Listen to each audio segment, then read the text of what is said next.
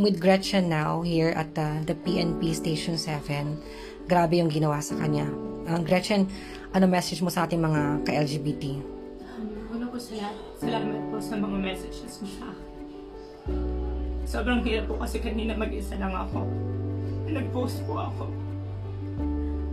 Yung marami na po nag-message sa akin na gusto nila tumulong. Sobrang na-appreciate ko po. Nag-push sa akin na para lumaban. Kasi parang ako na po yung biktima tapos ako pa po yung kinakasuhan nila. Tingin ko po representation to ng nangyayari sa atin ngayon. Na minsan, tahimik na lang po tayo kahit na kinakawawa na tayo. Pero itutuloy ko po yung, yung laban. Thank you po sa mga nag-message sa akin. Sobrang lumalakas po yung loob ko. Thank you.